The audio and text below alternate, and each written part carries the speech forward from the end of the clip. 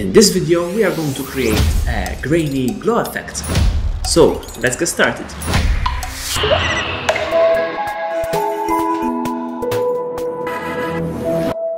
In this scene, we have this simple text animation setup, and we are going to add the grain effect and the glow effect over these text elements in here to achieve our grainy glow effect. So to do that, I'm going to hide the first layer in here. So hide that from there. And I'm going to simply reposition this in the middle so that we can start working on this text layer first and then move to the second one later on. The first thing that I need to do is add an inner shadow to this text in here, to which then we can apply the, the grain. To do that, there are various ways that you can go about it. First of all, you can edit using the layer style, so from layer styles and then inner shadow. But in this case, I'm going to use another approach where we are going to add effects and presets. From the effects and presets, we're going to add some effects to achieve it with effects basically, so that later on we can simply copy these over other layers and apply the same effects basically. I'm going to first go to drop shadow. Now the problem is that we don't have an inner shadow in here, so we're going to use the drop shadow effect. To see this properly, I'm going to simply add a new solid in here. So right click and add new solid, and I'm going to give it this color like that. Then we can change it at a later stage as well. So perfect. So now we have a background. If I go on this, we can immediately see our drop shadow. So let's increase a little bit the distance. This looks great, but we actually need an inner shadow and not an outer shadow. So in this case, we're going to choose shadow only in here. Perfect, just like that. The next thing would be to add now an invert effect. So let's search for invert. And we are going to use this invert effect to invert the alpha channel so that as you can see now we have the shadow on the outside of this layer and an empty space in the middle. I'm going to increase the opacity of the drop shadow to 100% so that as you can see the inner is not transparent in here. Perfect.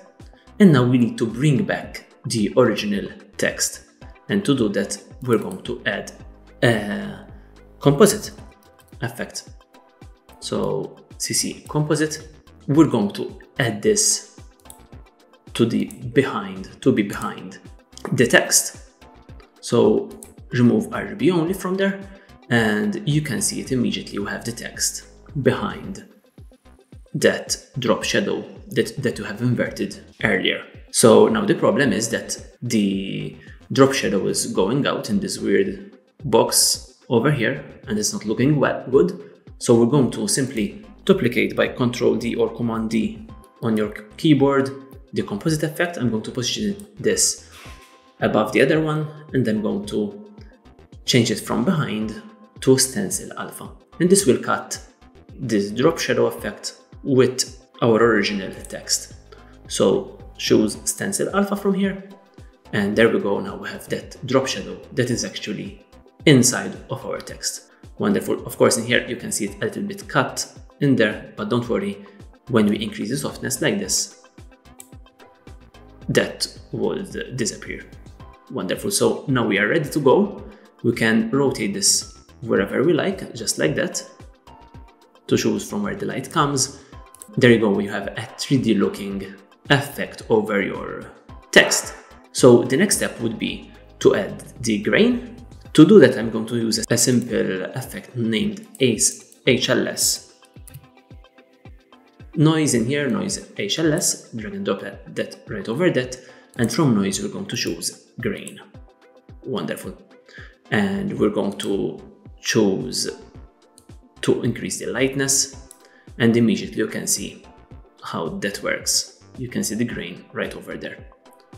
Let's increase this to around uh, 110%. We can also increase the grain size to around 2. Right now, as you can see, it is a little bit uh, too smooth and we can make it a little bit more sharp by adding some contrast. So let's find an effect named brightness and contrast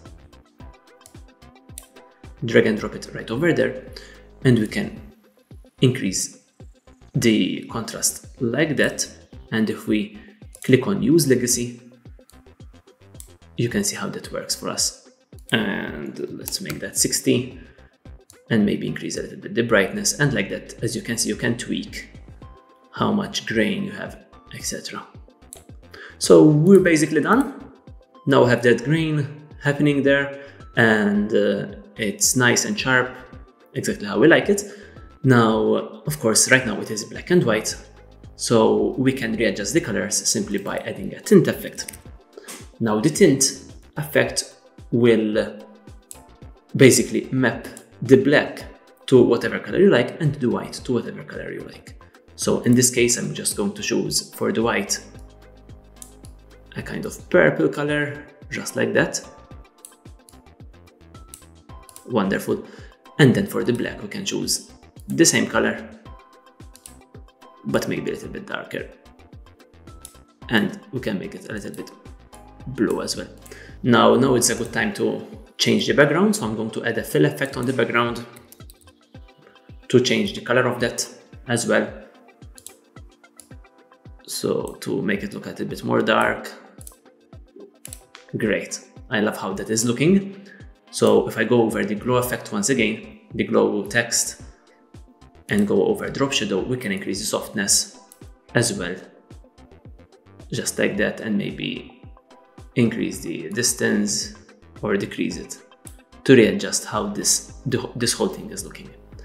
I like how this looks, so now we can move to the next part, which is the glow. To add the glow, we are going to add a new layer, so layer new, and uh, we're going to add an adjustment layer, and from here we're going to select glow. So type in glow, search for glow, and drag and drop it right over that adjustment layer. I'm going to rename the adjustment layer, layer to glow, and immediately you can see our glow right over there. Now we need to play a little bit around this. It's not looking that well good right now. So, but don't worry, we're simply going to decrease the intensity from here to around 0.3.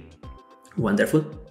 The glow radius, I'm going to do that around 2 and glow threshold for now, for now I'm going to, to leave it like that. that. Now, uh, it's not how we would like that to be, so I'm just simply going to com do Command D on my keyboard to duplicate this, and we can have now another effect of this, and we're going to increase the radius of this to around 20 or 30, just like that. And let's Command D again, and for the last one, we're going to increase this to around 300 so that we have more glow. Now, right now, we cannot really see that, it that much, so we're going to add the transfer mode of that, that uh, adjustment layer to add. Let's now increase a little bit the, the glow intensity and start playing with this. So this around 0.6 maybe, and this one to 0.6 as well. Wonderful. So I think the glow is looking great right now. Of course, we have lost the detail in this, in this uh, text. So now we can go ahead and maybe make the background a little bit darker, like that. And we can even readjust the colors of this. So something like this, maybe. And the black, we can reduce it a little bit more, like that. And maybe we can, increase this a little bit like that. You can continue to play with these settings in here to get what you would like, the, the look. One thing that you can play with is the glow threshold.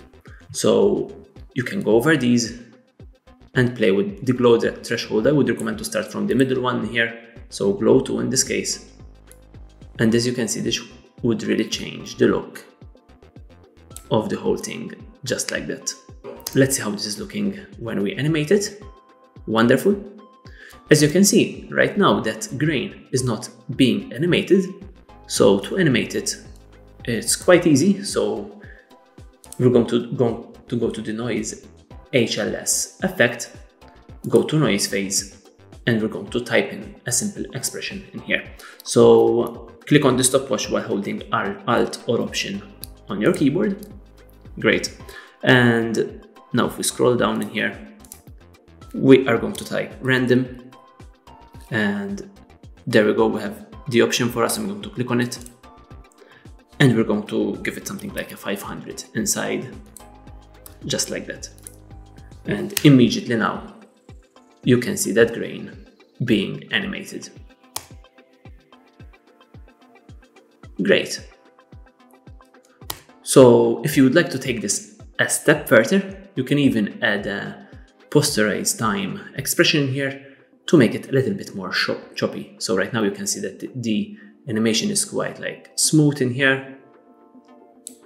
And if we would like to give it a more like a stop motion effect for the noise, we can do that by adding another expression. So I'm going to add posterize time in here.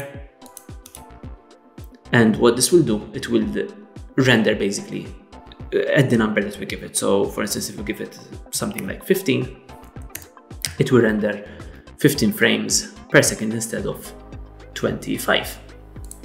So it will appear, it will look a little bit uh, slower in here as you can see, more choppy. Great, I like how that is looking.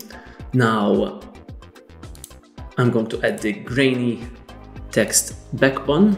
I'm going to bring this layer down just like that and uh, copy and paste all of these effects from the glow. So Control C on your keyboard, go to grain in here and Control V to paste. Great, and there you have the other effect applied there. And of, then of course you can change the colors of this. So let's change this to something like this. And actually quite like, like how this looks in here. Of course you can even change the, the black, but this looks quite cool as well. So let's, let's maybe change it to red. Perfect. Wonderful. Very nice. So the same technique could be applied to any other layer. So in this case, for instance, in this example, we have applied this to this circle and as you can see immediately, it gives it this really nice shine over it and that, that grain also gives it a, a nice feel and makes it look a little bit more 3D. That's basically it. I hope that you have found this useful. Of course, don't forget to subscribe to our channel where we will be releasing more videos to help you learn After Effects. So hit like and subscribe to support this channel.